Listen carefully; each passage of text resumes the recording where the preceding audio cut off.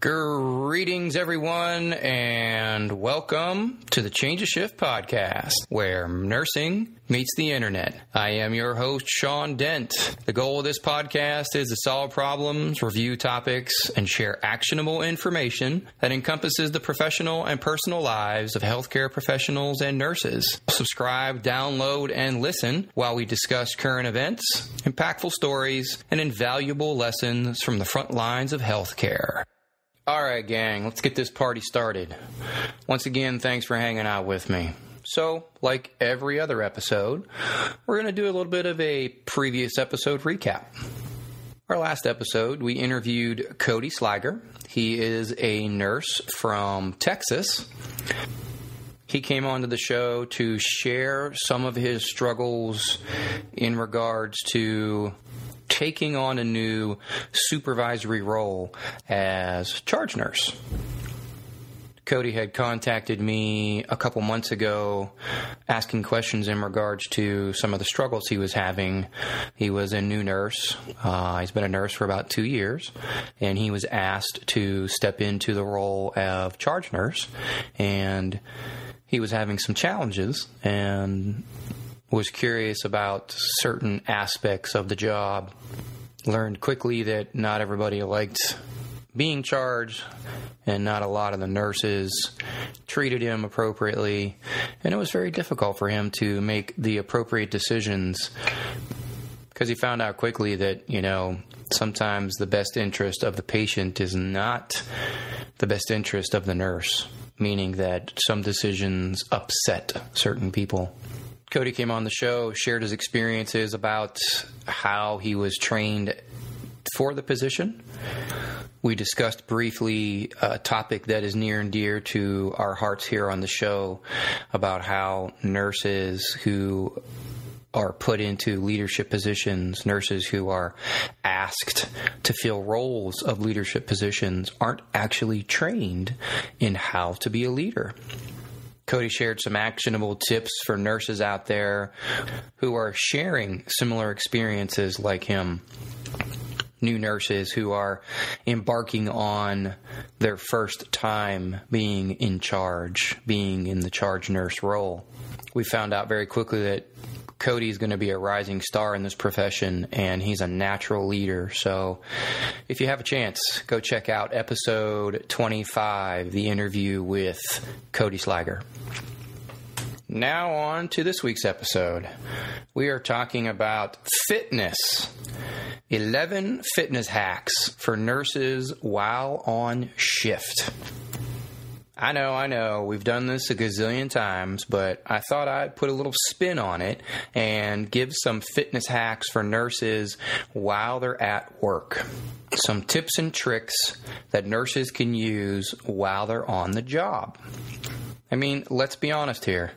Most of our fitness excuses have to do with time management, not having enough time to dedicate to improving our level of fitness, to improving our health, which is very ironic because we as nurses are time management experts, or at least we are self proclaimed experts. We have to juggle time like the best of them, especially when we're on shift, taking care of multiple patients, having to wrangle multiple patients, medication administrations, change in medical conditions, tests, procedures, phone calls, ancillary services, physicians, family conversations, friends, phone calls. The list is endless. Yet we find the time to manage it all, except managing our health. So I thought I would give 11 actionable steps, actionable tips, actionable hacks to maybe improve your fitness level just a smidge. Let's dive right into this. Number one, you need to move more. And what I mean is, you need to move more than how much you're moving now. If you want to improve your level of fitness, you need to start moving more.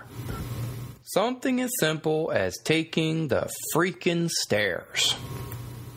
And I mean, this can be scalable. You don't have to take six flights of stairs on your first go. Just take one flight and then the elevator for the next five. And then maybe next week you take two flights of stairs and the four flights on the elevator. You get my point. Gradual progression, but you need to move more than you were yesterday. Number two, eliminate all temptation eliminate anything that tempts you personally. The caveat being that what tempts me is not going to tempt someone else.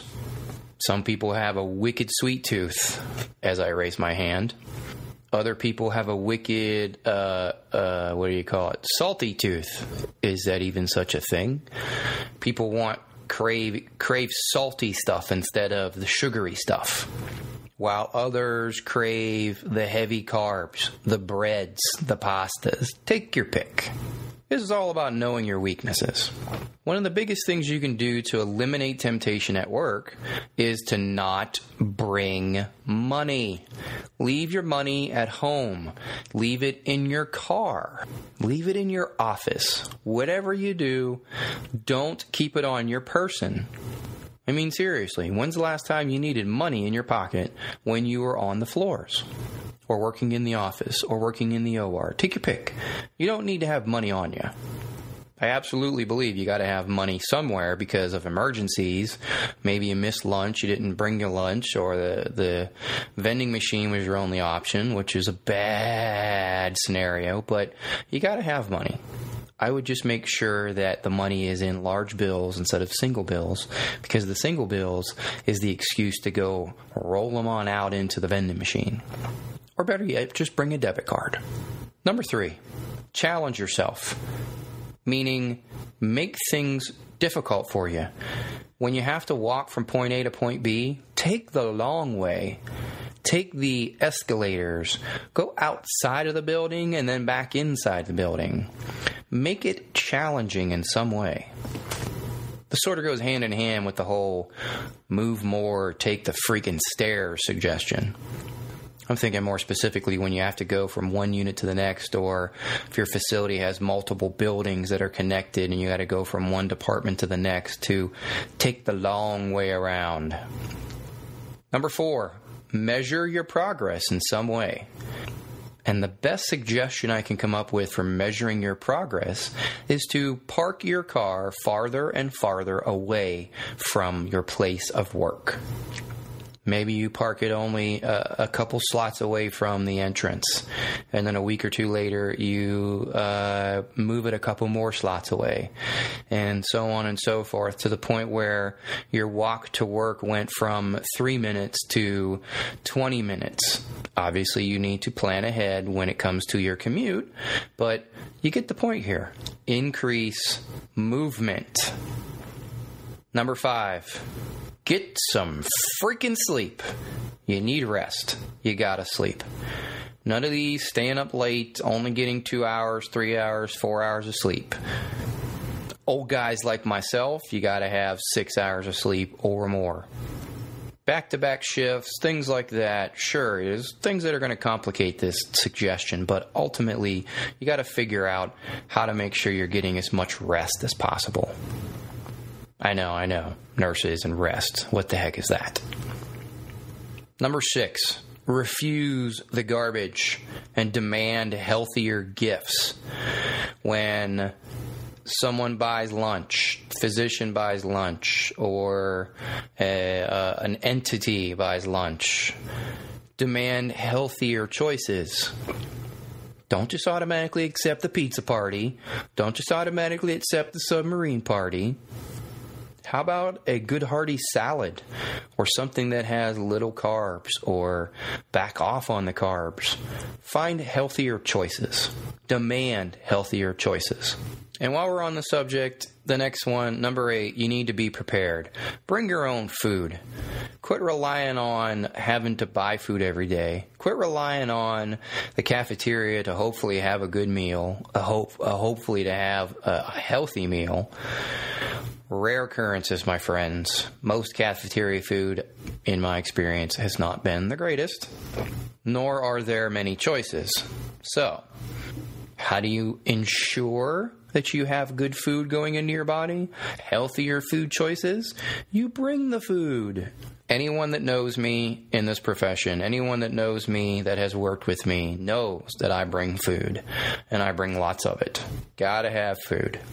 You not only got to bring your lunch, but you got to bring something that's portable to work that you can have somewhere close to you at the bedside.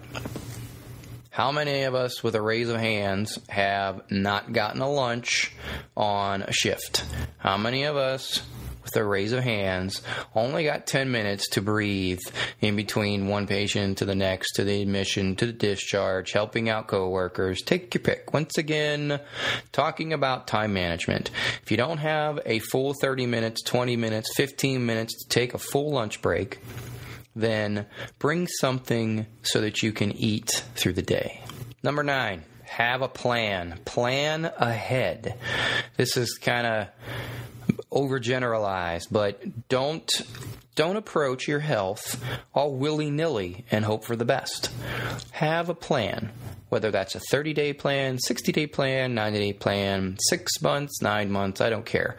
I didn't say have a deadline, I said have a plan. Know what you're going to do, how you're going to do it. Even if it's something as simple as this week, I'm going to take 10 more stairs. Have a plan.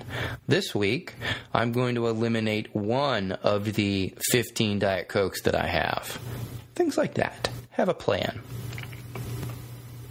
And number 10, which kind of goes along with a plan, is to ask for help.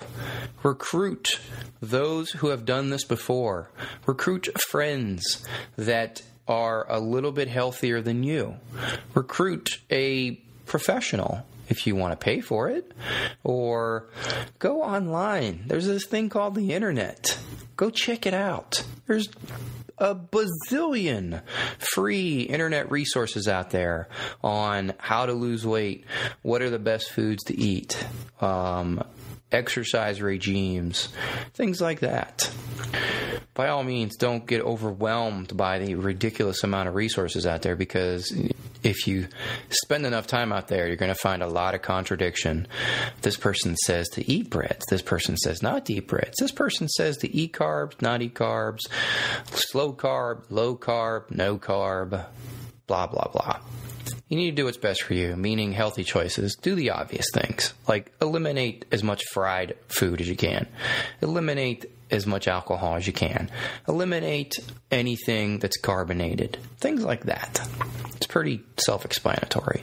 And if it's not self explanatory, by all means, ask me. I'll be happy to give you uh, a couple tips.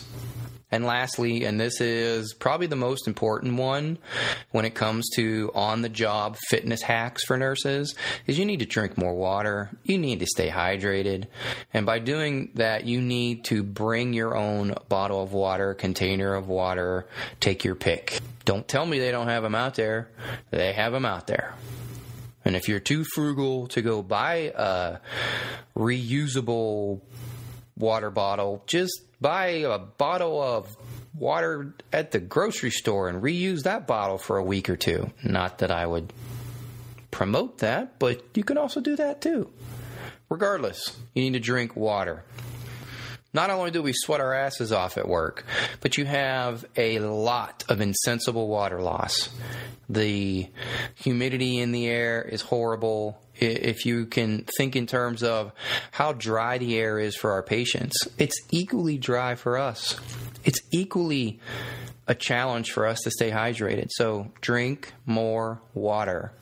There's no such thing as too much you don't have enough time during your shift to drink too much water. So don't give me that argument. I don't want to hear I'm worried about getting hyponatremic. Bullcrap.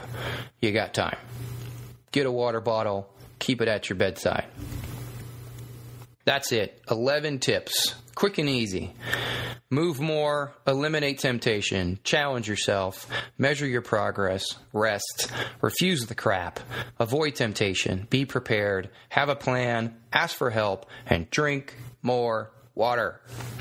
Remember, Doesn't matter how much you exercise, you can't out exercise a bad diet. There's no such thing as bargaining in weight loss. The equation of exercise equals food is horribly unbalanced meaning that there's no exact science on how many calories you're going to actually burn versus how many calories you're actually eating. 7,000 calorie candy bar that you just ate doesn't equal 10 flights of stairs. It's just not an absolute value. So you can't bargain weight loss. You need to move more than you did the day before, and you need to improve your food choices. It's really that simple. That's it. Tell me what you think. Drop me a line. I'd love to hear what you think about these fitness hacks. Thank you, thank you, thank you to all of my new and returning listeners. I can't tell you how much I appreciate you taking time out of your day to listen to the show. If you like what you hear, be sure to tell someone. You can find the show at thechangeofshift.com and you can find me out on the internet at SeanDent.com. This has been the Change of Shift podcast, where nursing meets the internet. I am your host, Sean Dent. The goal of this podcast is to solve problems, review topics, and share actionable information that encompasses the professional and personal lives of healthcare professionals and nurses. Please subscribe, download, and listen while we discuss current events, impactful stories, and invaluable lessons from the front lines of healthcare. And as always, be sure to check your own pulse first.